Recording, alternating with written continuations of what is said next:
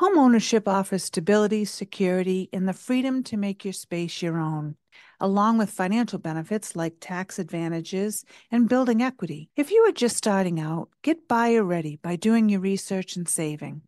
I can help you with this. Give me a call. For those looking to change homes, home equity is, is at an all time high.